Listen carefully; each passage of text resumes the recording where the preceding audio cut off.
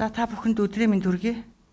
Тэгэхээр бид бүхэн өчтөр та бүхэнд хэлсэнчлэн одоо өнөөдөр бас тусламж үйлчлэгээний чиглэлээр мэдээлэл хийхээр манай бодлогын төлөв бодлого төлөлтийн газрын дарга Батчмаг дарга байгаа. Тэгээд өчтөр бас манай бидний хийсэн мэдээллийг бас үтсэн, чатаар асуулт ирүүлсэн, комент бичсэн бас иргэд даатгуулагч хүмүүс бас баярлалаа гэж хэлэх байна. Тэгээд Бачмаг дарга таныг танилцуулах хийхээс өмнө өчтөрийн нөгөө нэг бас асуулт асуусан нэг хэсэг иргэд байгаа. Тэдний асуултанд бас хариулаад. Тэгээд мэдээлэл хийчээ. Дараа нь бас иргэдийн асуултанд хариулъя тий. За өчтөр бол яг энэ хордон авдар бай хэмжлэгийн талаар нэлээд дэлгэрэнгүй ярьсан тий. Гэхдээ бас нэг намун цолон гэдэг хүн асуусан байгаа. А хордон авдрын бай хэмжлэгийг хэлгэж байсан. Тэгээд зайлшгүй зайлшгүй шаардлагатай. Одоо санхүүгийн боломжгүй болоод завсарсан байгаа хүнд шууд орох боломжтой юу гэсэн байна энэ юун дээр одоо иргэн даатгуулагчийнхаа эрх ашигын үүднээс бид нар энэ бай амжилтгийг энэ 03 дугаар тогтоол руугаа оруулж өгсөн байгаа шүү дээ. Тэгээ энэ дээрээ болохоор манай иргэн энэ наман цолон гэдэг иргэний хувьд болохоор одоо мэдээж өөрөө зайлшгүй өмнө орж исэн шаардлагатай эмчийн одоо юу заалттай байгаа тохиолдолд энэ хүн шууд орох боломжтой. Тэгэхээр хяналтынхаа эмчлэл очороо гэсэн үг. За. За бас нэмэгтэйчүүдийн өрсөлд өвчний үеийн эмийн имчилгээ гэж бас байгаа юу гэж байна. Тэгээ ер нь эмийн имчилгээ хийх шаардлагатай тохиолдол яах вэ? Даатгалд хамрагдах хамрагдах уу? За. Энэ энэхүү одоо 03 дугаар тогтоолоор болохоор жирэмсний асуудлыг эрсэлтэй жирэмсэн одоо хэвийн жирэмсэн гэдэг одоо ялгаж оруулж зохицуулж өгсөн байгаа тус бүрдийн үлдэхийг болоод тэгээд өөрөөр хэлбэл энэ саяны иргэний хувьд болохоор одоо суур хавсарсан өвчтэй байна гэсэн үг дээ. Жирэмсэн төлхөөс үйл шалтгаалсан а нэмэлтээр хавсарсан өвчтэй хүний асуудал дээ. Энэ асуудал нь болохоор одоо жишээ нь та телометрид одоо бөөрийн өвчтэй бол тухайн одоо аюугаараа санхүүжилтээ аваад явна. Өөрөөр хэлбэл эмийн хавсарсан эмчилгээ энэ тогтоол яг онш оншоор орж өгсөн байгаа. Тэгэхээр танд энэ асуудал нээлттэй а дээрэс нь нэмээд жирэмсний байх хугацаанд одоо жирэмсний хяналтыг чинь цогц тусламж үйлчлэгээ бас багцлаад ингээд ороод өгсөн байна шүү. Баярлалаа. Манай оюун цагтаа бас одоо тусламж үйлчлэгээний чанар төлөв юм байна. Тэгээ оюун цагтаас бас өчтөрийн ингэдээс ирсэн асуудал бас асуугаа явж байгаа. А энэ ингэд асуусан байна. За. Гурдугаар нэгтэй байна. За дүүргийн эмнэлгээс одоо энэ хонцог дээр зөвхөн жаргал гэдэг Дүүргийн эмнэлгээс 3 дугаар эмнэлэгт тархины англи графикийн шинжилгээ хийх бол төлбөрийг нь яаж шийдэх вэ? Ямар маягаар очиж үзүүлэх вэ гэсэн байна. За. За тэгэхээр энэ бол өөрөө нөгөө өндөр өртөгтэй онцлогоо шинжилгээ хийх асуудал байна. Тэгэхээр дүүргийн эмнэлэгт бол энэ ангиографи шинжилгээ хийхгүй учраас ялтч авахгүй 3 дугаар шатлын эмнэлэгт бол шилжиж очино. Энэ тэгэхээр эмчийн заалтгачж байгаа энэ бол онцлогоо хийх шаардлагатай байна гэдэг талаас. Тэгэхээр энэ өндөр өртөгтэй онцлогоо шинжилгээ хийхэд иргэн бас хамтын төлбөр тодорхой хувийг төлнө. Тий. Тийм учраас энүүн дээр бол даатгалаас тодорхой хувь нь гарна, иргэнээс бас тодорхой хувь нь гарна. А яг би танд бол мөнгөн дүнгийн одоохондоо бол арай хэлж өгч чадахгүй байна. А ер нь бол төлбөр гарна. За тэгээд эмнэлгийн санхүүжилтийн хувьд бол энэ бол өөр болно. Хоёрдугаар шатлын дүүргийн эмнэлэгт хийгдэх асуудал нь тэндээ төлөгдөд явна. А 3 дугаар шатлын эмнэлэгт хийгдэх асуудал нь тусдаа. Эмнэлгүүдэд бол санхүүжилтийн хоёр өөр очих гэж ойлгож байна. Нөгөө даатгуулагч ирээ одоо эмнэлэгт очиж үзүүлэхдээ яаж очих вэ гэдээ асуугаад байгаа. Ялангуяа харьяал харгалзахгүй үзүүлж болох уу гэсэн асуулт асуугаад байгаа. Энэ 50 90 дөрж гэдэг юм бол жишээ нь 2 дугаар эмнэлэгт хотоодоо дурандуулах нөхцөлд одоо яаж даатгалаас хөнгөлт авах вэ гэсэн байгаа. За бас 2 дугаар эмнэлэгтэй холбоотой бас иргэдээс нэг юм асуулт ирээд байгаа. Одоо тухайлбал юу гэдэг эрүүл мэндийн тэргүүний ажилтан тийм ээ одоо гавьяатууд хоёрдугаар эмнэлэгт нэг үзүүлдэг штэ карттай тий. Хариаллын хүмүүс гэд. Тэгэхээр тэр улсад одоо жишээлбэл өрхийн эмнэлгээсээ 13 дугаар маяг тавалгүйгээр шууд хоёрдугаар эмнэлэг дээр очиод тасламж үйлчилгээ авсан тохиолдолд даатгалаас одоо юу хөнгөлт эдэлж болох уу гэсэн асуулт асуугаад байгаа. За. Тэгэхээр одоо саяхан шинжилсэн 3 дугаар тогтоолоор ерөөсөө гол юм юу вэ гэхээр зэрэг аа өрх сум тосгоны одоо эмнэлгээсээ эмчээсээ нэгдүгээр эмч заалт гаргана. Энэ хүн яалтч байхгүй. Тэр хүн нөгөө хоёрдугаар эмнэлгийн харьяаллын хүн бол байж болно. Тэнд үйлчлүүлдэг хүн бол байж болох ч. Заавалчгүй анхан шатныхаа эмнэлгийн эмчийн заалт гаргуулсан 13 дугаар маягт 13А маягтаа заавал авсан байна. Хэрвээ та 2 дугаар эмнэлэгт өөрөө эмчийн заалтгүйгээр очиж байгаа бол төлбөр өөрөө хариуцна. өөрөө иргэнээс төлбөр гарна гэж ойлгож болно. За эмчийн залт гаргаад 13 дугаар маягтаа аваад очиж байгаа тохиолдолд бол энэ төлбөрийн асуудлыг бол а бас энэ бид нар хамтын төлбөр ямар байгааг бас юу иргэд бас анхаарах хэрэгтэй. Бүгдийн даатгалын санхүүжилт санхүүжлж байгаа байна гэж ойлгож бас болохгүй. Тэгэхээр зэрэг манай энэ шин юм хэрэгжиж байгаатай холбоотойгоор бид нар бол иргэдэд яагаад ингэж тусламж үйлчилгээ болгоноор нь ч гэдэг юм уу те ингэж хэлэх гээд байгаа ихэр та бүхэн бас ойлгомжтой болгох нэг дор бөө мэдээлэхгүй гэдгийг бас барьж байгаа иргэд анхаарал. Тэгэхээр ерөөсөө гол анхаарах юм юу гэхээр зэрэг өргөх сумынхаа эмнэлгийн эмчийн бичгтэй явна гэдгийг л иргэд сайн анхаарах хэрэгтэй. Эмнэлэг эмчээ сонгож болно. Тэгтээ заавал бичгтэй. За баярлалаа. Тэгээ энэ манай энэ шин тогтоол маань 3 сарын 1-ээс хэрэгжиж эхэлнэ гэж байгаа шүү дээ тий. Тэгэхээр ер нь ямар дараалалаар одоо явах вэ? Эмнэлэг дээрээ яаж бүрдгүүлэх вэ гэд. За жишээлбэл энэ намын цолмон гэд хүн асуусан байна. Хор тавдрын бай амжилтганы авастын 400 мл тариг зөвхөн монс тэрэд оруулж ирдэг гэж байгаа. Тэндээс авч хийлгдэг байсан. Одоо хийлгэхээр болохоор өөрсдөө авч хийлгээд дараа нь санхүүжилт болдох уу? Эсвэл хавдар судлалын үндэсний төв эмнэлгээрээ дамжих уу гэд. За За энэ дээр маш зөв асуулт асуусан байна нөгөө.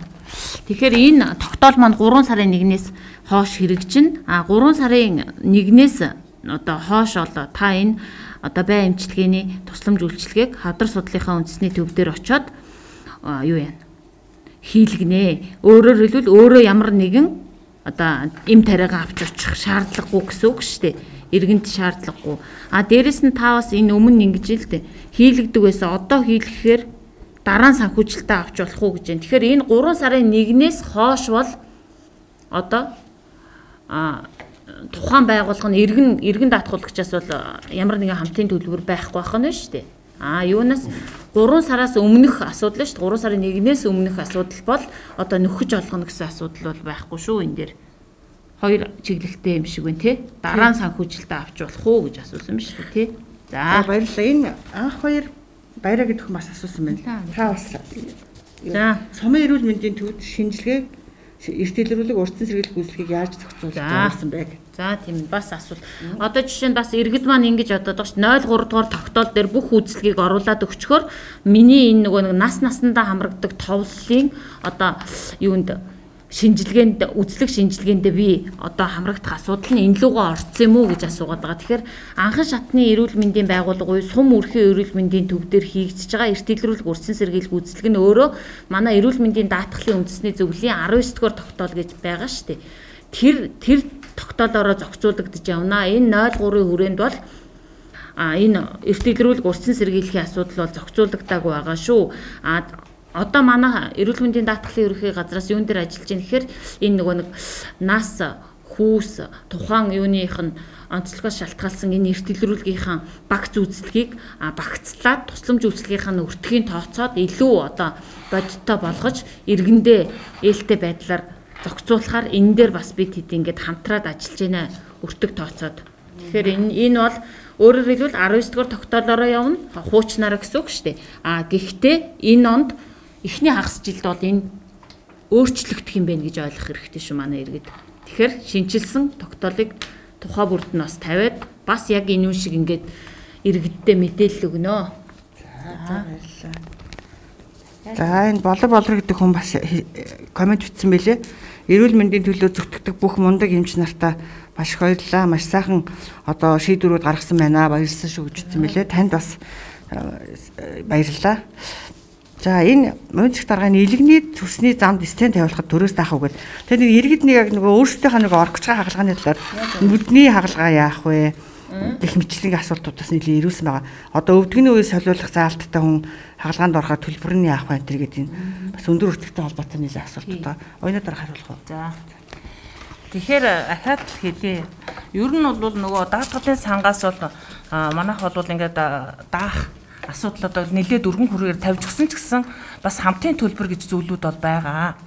За энэ одоо илгэнд стенд тавиулна гэж энэ илгэнд цусны замд За дээр нь одоо энэ үе солиулах энэ тохиолдлууд мөн хамтын төлбөр бол байгаа. А гэхдээ та зүгээр иргэн хүнийхээ хувьд ингээд анхаарал харах юм бол а өмнө хэрэгжижсэнээс бол өртгийн хувьд бол иргэнээс гарах зардал бол буурсан.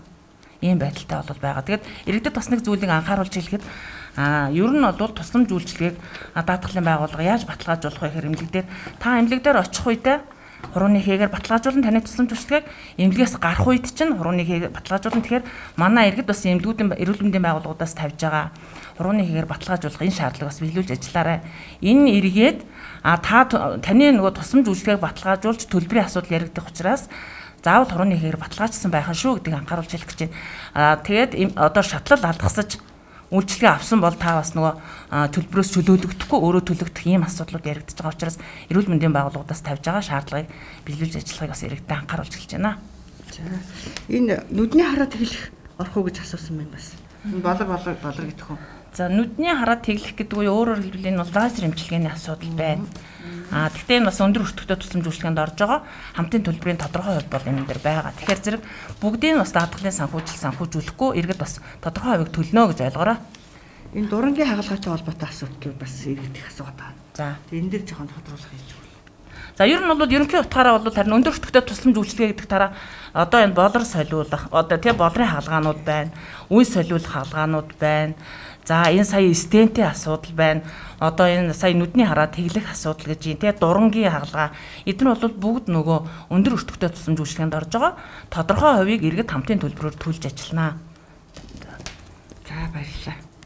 За одоо ачмаг дарга өнөөдөр чинь амбулаторын тусламж үйлчлэгээний талаар мэдээлэл хийх гэж байгаа тийм ээ. За тийм. За. За тэхүү. За ер нь бол амбулаторын тусламж үйлчилгээ иргэдийн асуулт болчих шиг болов. Тийм. Амбулаторын тусламж үйлчилгээний чиглэлийн асуудлыг бол өргөжүүлээд а юу юунаас нь шалтгаалаад өөр өөр болгоод ороод ороод ирсэн байгаа амбулаторын тусламж үйлчилгээнд тэр болгон дээр би та бүгдэд бас хилээд өгчий.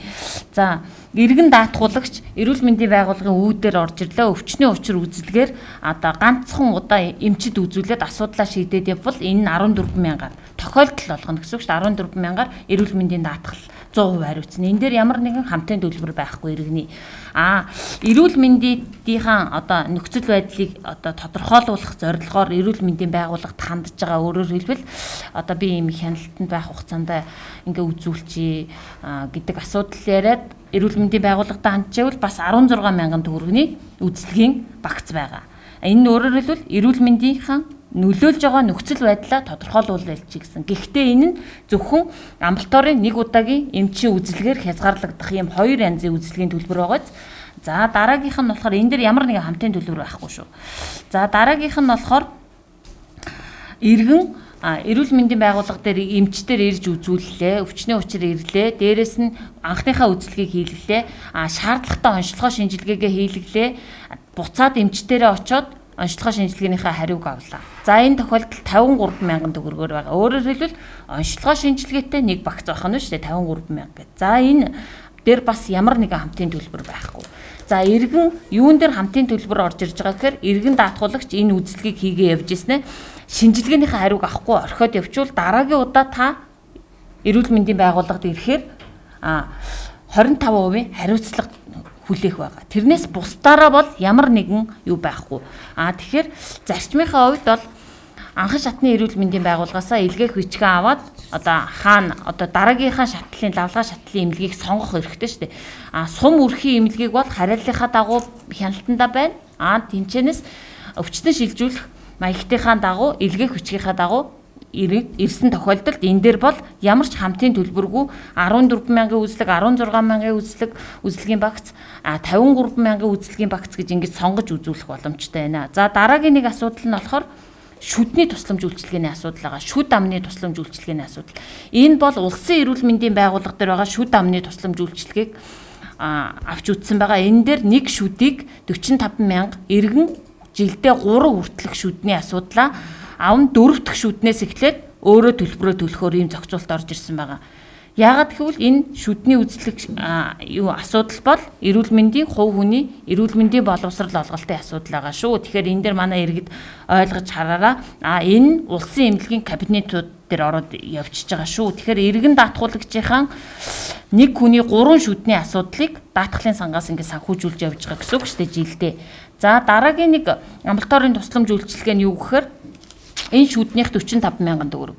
За дараагийн амбулаторийнх нь нэг юу нь болохоор хяналтын үзлгүүд байгаа. Энэ аль одоо вакцины хяналтын үзлэг гэдгээсээ шалтгаалаад 20 мянгаас эхлээд 40 мянга хүртэл байгаа. За энэ дээр мис заслын дараах боолтууд хийлэгдэг шүү дээ. Манай юу өнүүд иргэд одоо 3 дугаар эмнэлэг дээр тархины хагалгаанд орчоод байлаа гэж бодъё. Зүрхний хагалгаанд орлоо гэхэд олон хоног ингээ боолт хийлгэх шаардлагатай байдаг шүү дээ. Тэдэн удаа ирж боолтоо хийлгэх гэдэг. Энэ боолтоо хараа дүүргийнхаа эрүүл мэндийн төв дээр одоо дүүргийнхаа нэгдсэн эмнэлэг дээр сонгоод хийлгэж болно. Эсвэл 3 дугаар эмнэлэг дээр хагалгаанд орсон эмнэлэг дээр хийлгэж болно. А тэгэхээр тохиолдол боолтныхын тохиолдол болгоны 100000 төгрөгөөр санхүүжүүлэх нэ гэсэн үг даатгалын сангаас. Тэгэхгүй бол одоо бентэй аваад дэр иргэнийг яваад биентэй болоод дэр ийм ийм наалтыг энэ эндээс аваад ирээрэ гэдэг манай иргэд очоод тэр бүгдийг одоо эмийн сангаас худалдаж аваад эрүүл мэндийн байгууллага дээр ирж гадуураас өөрөөр хэлбэл гадуураас ирж боолтоо хийлэгдэг штеп. За өнөө ялангуяа бас төрсэн эмэгтэйчүүд байгаа. Кисэр хагалгаагаар төрсэн ээжүүд бас гадуураас ирж боолтуудаа хийлэгдэг. Тэгэхээр энэ боолтны биеинт юуны асуудлуудыг бүгдийг нэнлүү амталтын тусламж үйлчилгээний хэсгийн мис заслын дараах гэдгээр 100000 төгрөгөөр нэг тохиолдлыг ингээд бодоод эмчийнхэн дараа нь эмч нь хяндаг штэ шархаа хянж хардаг сувлагч нь бас тухайн шархны эдгэрэлтийг хардаг энэ бохын энлүү нэгэ багтаагаад өгсөн байгаа шүү.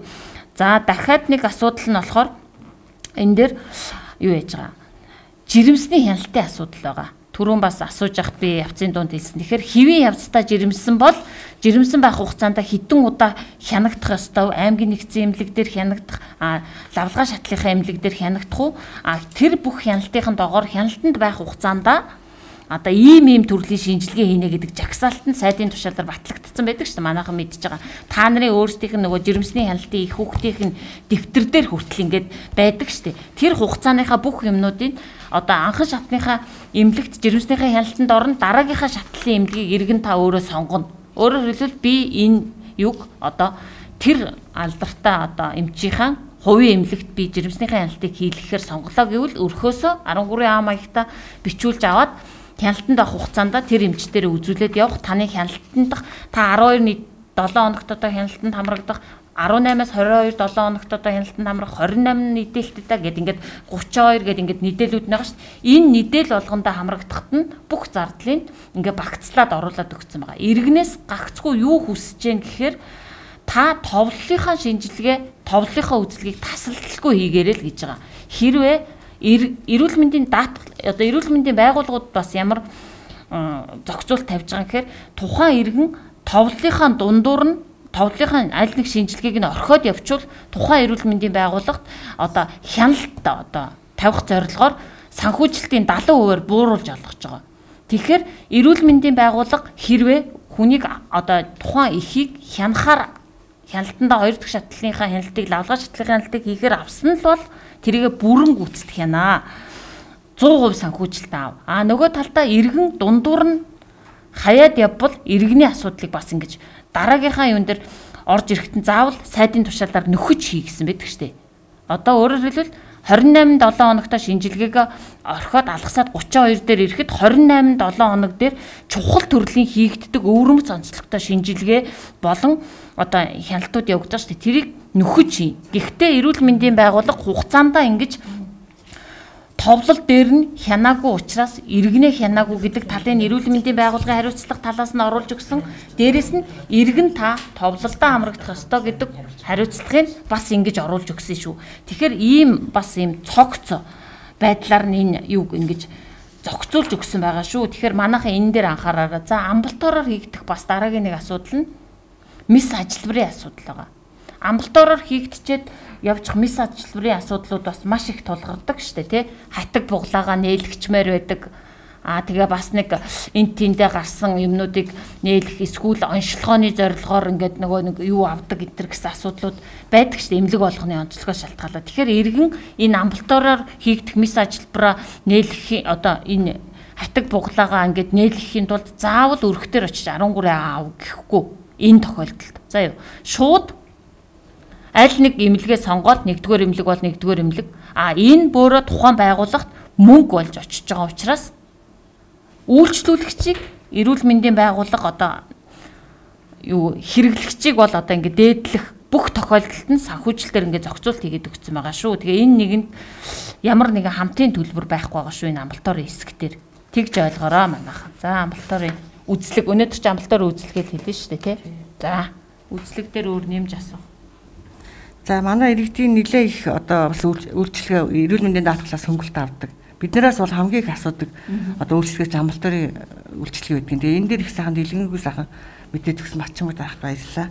За тэгээ манай бас иргэдээс асуултууд ирсэн байна. Энэ гэхдээ яг амбалтын тусламж үйлчлэгээтэй гэсэлүү өндөр өртөгтэй мэс тасалтай холбоотой асуудлууд нэлээ ирсэн байгаа тийм. За тий хараад Тий. Маа энэ нуруу нугасны мэс таслалын үйлчлэгээнд орж за Тэтгэврт гарсан хүн үе солиулах хагалгааны тухай гэж байна. За би энийг баг гадралж яана нөгөө манай хэдтэйгээ байнга хамтарч ажилладаг учраас олон нийтийн хэлтстэй. Яг тэгэхээр тэтгэврт гарсан хүмүүс үе солиулах асуудал байдаг. Дээрэс нь энэ тэтгэврийн болон хөгжлийн бэрхшээлтэй иргэд энэ тулгуур эрхтний асуудлууд бас маш чухал одоо оншууд орж ирдэг штеп тулгуур эрхтэнтэй холбоотой өвчлөлийн асуудал. Тэгэхээр тэтгэврт гарт тэтгэврийн хүн хөгжлийн бэрхшээлтэй хүн гэд ингээд одоо зорилтод бүлгийн хүмүүс маань байна штеп. Үе солиулчингуудаа хуучин бол яаж зохицуулж исэн гэхээр үе солиулна үе солиулсан үеийнх нь мөнгийг одоо халамжаас олгодог байлаа штеп. Халамжийн нэг нөгөө протезийн тогтоол байдаг штэ 193 дугаар тогтоол сүүлд шинжлэхдээ энэ маань 193 болцсон. Тэгэхээр энэ хүн бол одоо тэтгэврт гарсан хүн хүн байна. Дээрэс нь энэ хүн одоо эм 17 18-аараа оншороо а үе солиулах хагалгаанд орно. Орох нь эрхэн нээлттэй. А орлоо гэхэд тухайн оншин дээр манай энэ хамтын юуныхаа аюуг ингээ харахаар ард нь хамтын төлбөр байгаа. Хамтын төлбөр байгаа боловч бид нар энэ дээрээс нөгөө хуулийнхаа дагуу байдаг хүмүүсийг чөлөөлсөн байгаа.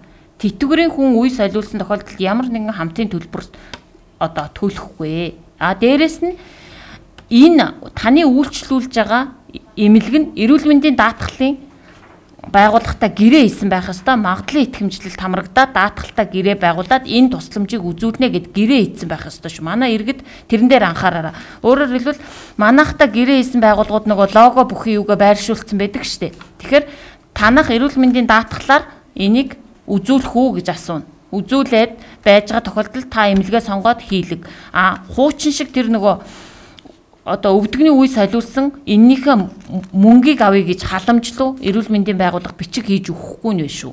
Тэгэхээр энэ асуудал чи өөрөө энэ тусламж үйлчилгээнийх нь өртөгт нь шингэж ороод орчоод нөгөө нийгмийн халамж дэмжлэх шаардлагатай хэсгээ чөлөөлсөн шүү хамтын төлбөрөөр.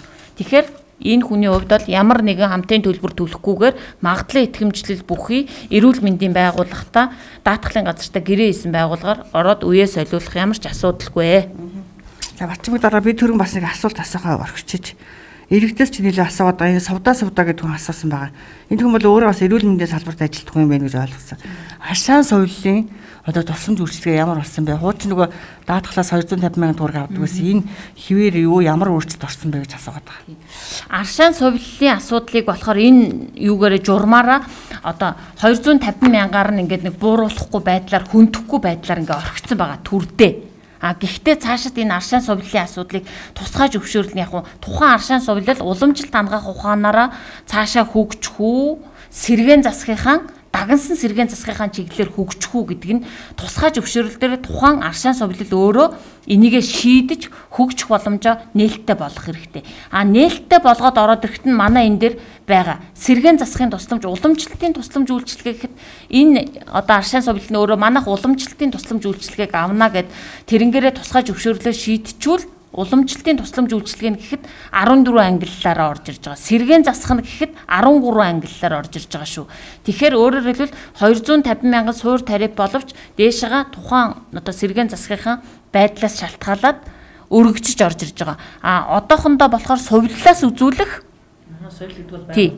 Сувлал гэдэг чинь байгууллага. Сувллаас үзүүлэх тусламж үйлчилгээ гэдэг нэрийн доор 250 мянгаар нь төрдөө орхисон байгаа а цаашид энэ дахиад шинчлэгдэнэ гэж ойлгох хэрэгтэй ш манай иргэд. Тэгэхгүй бол энэ дээр бас тийм ойлголцсон юм яваад байгаа. За баярлалаа. За ойны дээр ямар асуулт вэ? За тэгээ. Энэ зулаа зулаа гэдэг хүний асуултанд хариулахад нуруу нуусны мэсцэлтэй хагалгаанд одоо энэ юу орох уу гэж асууж байгаа шиг. Тэгэхээр зэрэг нуруу нуусны мэсцлийн хагалгаанд бол хамтын төлбөр орно. Оншихын бүлгээс хамаарат а тэр хамтын төлбөрийн хэмжээ бол өөр өөр байгаа. Тэгэхээр энэ одоо энийг манай эрүүл мэндийн байгууллагууд маш нээлттэйгээр одоо иргэдэд анхааруулад одоо тавьсан байгаа. Ер нь бол энэ тогтоолын хэрэгжилтийг хангахын тулд тэгэхээр энэ нуруу нусны хаалганд бол хамтын төлбөр орно гэж ойлго. За энэ од болд гэлдэг хүнээс хоёр асуулт байна. Тэгэхээр энэ асуултын нь юунаас харахаар энэ манай эмнэлгийн мэрэгчлэн хүн байна уу гэж би бодож байна.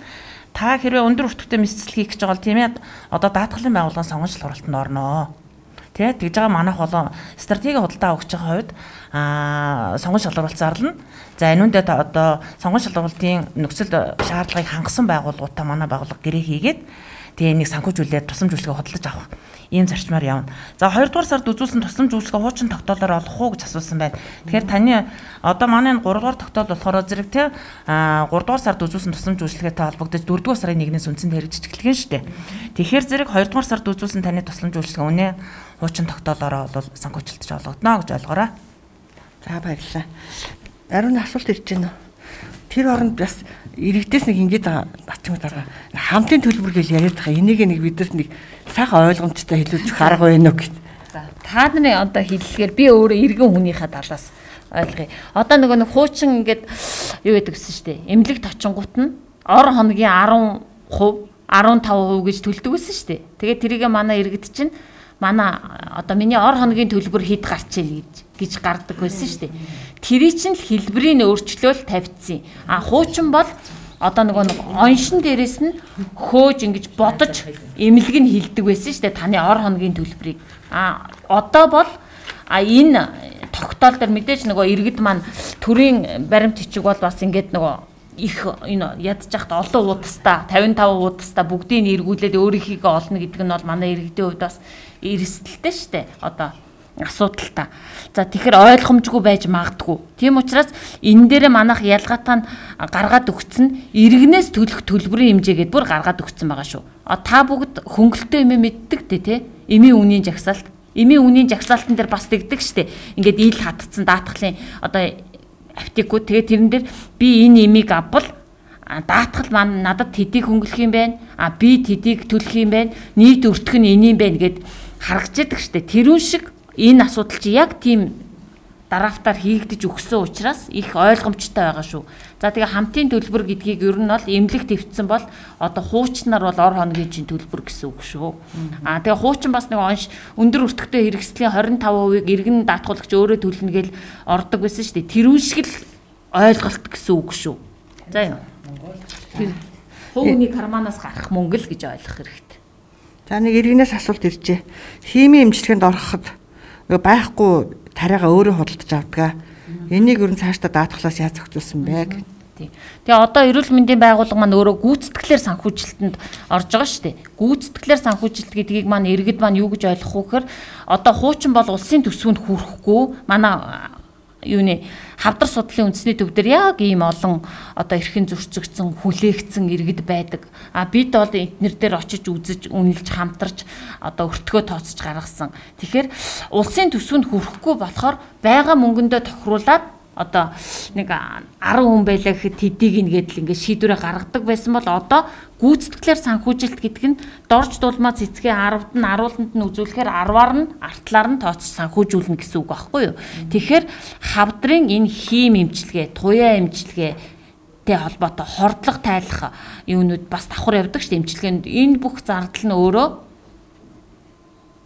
тухайн тусламж үйлчилгээнийхаа зардалд өртөгч шингэж өгсөн болохоор иргэн даатгуулагч энэ дээр бол ямар нэгэн төлбөр төлөхгүй нөгөө ор хоногийн болон эм тарианы гаднаас юм хум авах хөднөр гэдэг асуудал бол байхгүй шүү.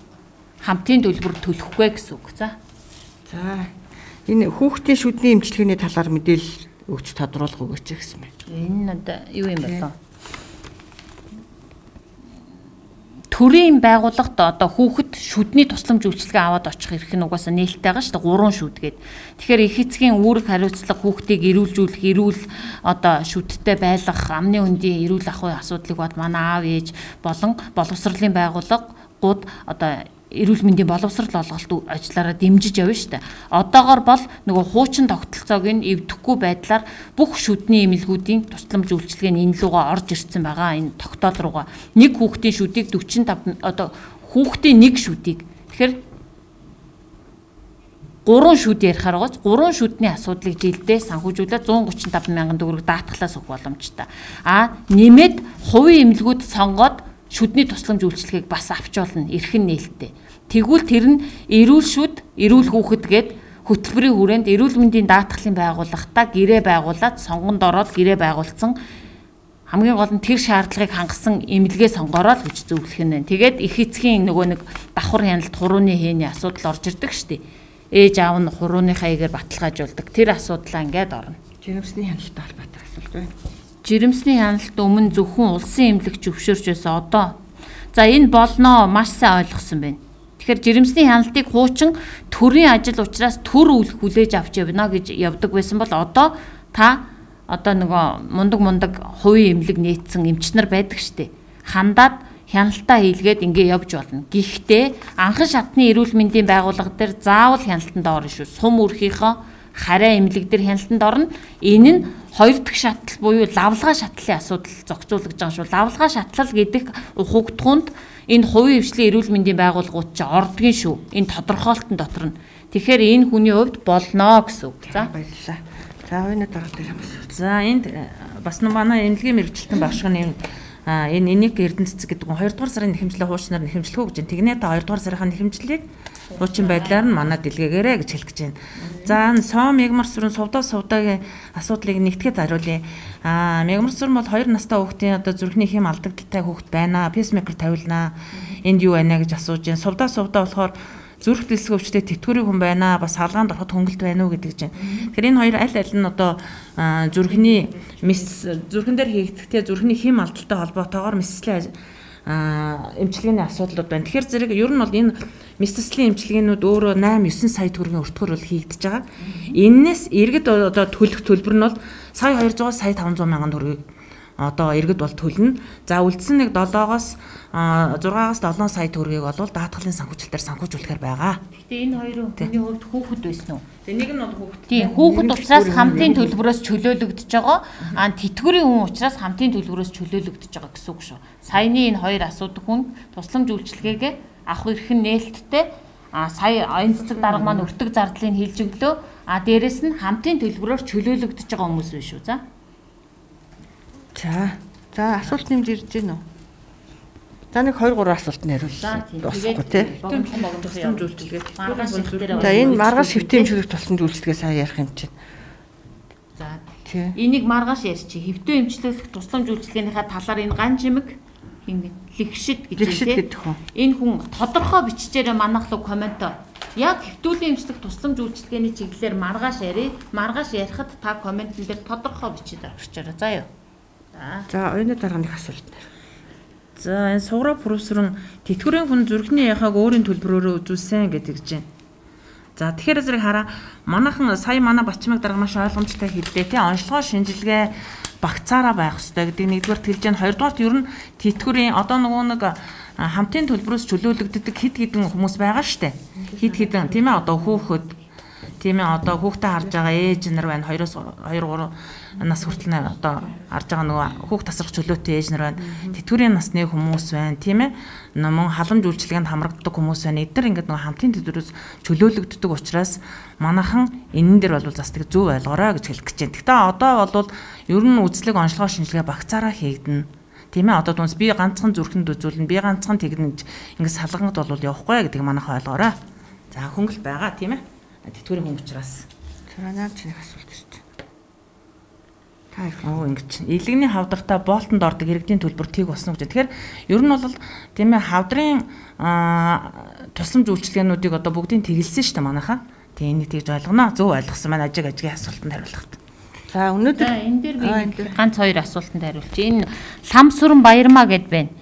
Одоо нэгнээс энэ бай тариа яг батлагдаж хийгдэхүү одоогоор хийм тарианда орохдоо элэг хамгаалах бөөлжилтийн эсрэг тариагаа худалдаж авч байгаа. Ер нь эм тариагаа сайн татаж авдаг баймаар байна. Эмнэлэгт нь байхгүй дотор нь байгаа эмийн санд зарж л байдаг хэцүү байна. Тийм ээ энэ одоо ийм одоо тогтолцоо байгаа. А тэгэхээр бүх эрүүл мэндийн байгууллагт бол иргэнээс ямар нэгэн хавдартай холбоотой хамтын төлбөр одоо нэмэлт төлбөр авахгүй гэдгийг манай иргэд бас маш сайн ойлгох хэрэгтэй шүү. Тэгэхээр иргэн та өөрөө төлөөд байгаа тогтолцоо байгаад байгаа. Тэгэхээр бид нар өөрөө иргэн даатгуулагчийн төлөөлөл болоод энд сууж байгаагийнхаа хувьд иргэнээс бол ямар нэгэн хамтын төлбөр авсан энэ тохиолдол бол одоо нэгнээс хойш гэсэн үг шүү дээ. 3 сарын 1-ээс хойш гэдгээ хугацаагаа хараараа тэгээд одоо хийм тариа болон дотор аптикаас тийм аваадэр гэдэг асуудал бол байхгүй нэ шүү. Тэгэхээр ир хэрвээ иргэнээр ийм ийм ахуулсан тохиолдолд энэ хавдралтай холбоотой ийм асуудал байсан бол одоо манах нээлттэй хүлээж авнаа. Манай утаслуу нээлттэй нэр усаа хилээд хаана хэдэн сарын хэдэнд ямар тусламж үйлчилгээ аваад хэдэн төгрөг төлсөн бэ гэдэг мэдээллийн санг манах үүсгэнэ. Энэ дээр манайхан хамтарч ажиллаараа иргэд маань За зүрхний хим алддаг өвчтөө Батнин Батка гэж энэ зүрхний хим алддаг өвчтөө иргэн хамрагдах уу 3 дугаар тогтоол журамтай танилцж болох уу гинэ. За 3 дугаар тогтоол журмаа бид нэр ингээд иргэнд ойлгомжтой болгоод юун дээр оруулж байгаа цахим уудсан дээр одоо өчигдөр амбулаторийнхыг оруулаад оруулсан байгаа. Өнөөдөр өндөр өртөгтэйгөө оруулчихна. Тэгэхээр бас дахиад энэ лайв хийж байгаа. Тэгэхээр ингээд асуугаад байж болно. А зүгээр өөрөө татаж үзээд сонирхоод бүтнээр нь хараад унших боломжтой гэж үзвэл тий манай сайтн дээр байгаа шүү. Эрүүл мэндийн даатгалын ерөнхий газрын сайтн дээр бүрэн ихээрээ тавигдсан байгаа. Энэ бол нууцтай ямар нэгэн асуудал биш шүү. За ДНК баясгалан гинэ 21 саяар хийлгсэн хагалгаа 10 саяар саяар хийхэд 100 хувь гэж үзэхгүй шүү дээ. Ядаж 50% гэвэл дээр баха гинэ. За энэ би манай эрүүл мэндийн салбарын хүн болов уу гэж бодож байна. А хувийн хвшлийн эрүүл мэндийн байгууллагуудын бүх одоо хийгж байгаа хагалгааных нь зардлуудаар нүртэг зардал дээр нь үнэлгээ хийж ажилласан. Тэгэхээр энэ нөгөө зарим хувийн хвшлийн эрүүл мэндийн байгууллагууд манайх руу одоо нөгөө өртөг зардлынхаа мэдээллийг өгөөгүйтэй холбоотой бас асуудлууд үүсэж байгаа. А тэгэхээр өөрөөр хэлбэл үн тохирохгүй байх гэсэн үг шүү дээ. Тэгэхээр манайхтаа энэ нэмлэг гэрээ байгуулахгүй байж болно. А дээрэс нь гэрээ байгуулвал тэдэн төгрөгний одоо тоо хэмжээгээр тичнээн эргэн даатгуулагчийг би тим оншоор одоо энэ танаа зөвшөөрж байгаа 10 сая төгрөгөөр хийх боломжтой гэж гэрээлэх юм. Тэгэхээр манай иргэд энэ дээр юу анхаарах вэ гэхээр энэ байгууллага манай даатгалын газартаа гэрээтэй юу гэрээгүй юу гэдгийг маш сайн анхаараараа.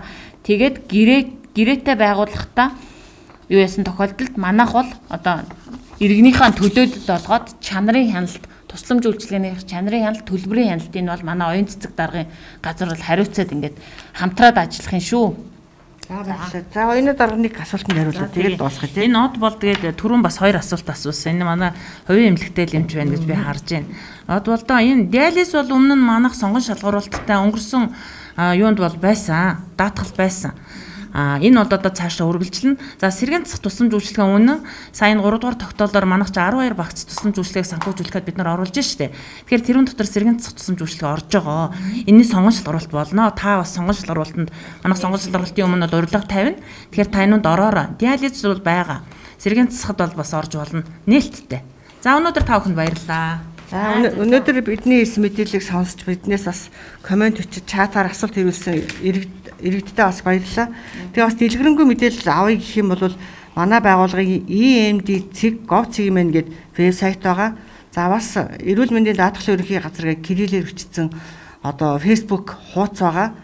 За одоо зөвхөн лайв үеэр ихэхгүй манай дуудлагын төвийн 1813 63 гэсэн утсаар бас мэдээллүүдийг авахд бол манайх одоо ажлын цагаар бол ажилтнууд мэдээлэл өгöd байж байгаа. Тэгээд маргааш хэвтүүлийн эмчлэх тусламж үйлчлэгээний талаар манай хоёр дарга бас мэдээлэл өгнө. Тэгээд та бүхэн яг энэ дээр өөрсдөө хамааралтай одоо яг тодруулж асуух асуултууд байвал бас ирүүлээрэй. За тэгээ өнөөдөр бас асуултанд нь хоцроогүй хариулаагүй үлдсэн хүн байвал уучлаарай маргаашаас хариулъя. Тэгээ иргэдийн асуултанд хариулсан Бачимгийн дарга оюун засаг дарга хоёртаа баярлалаа. За маргааш уулзъя баяртай. За баярлалаа.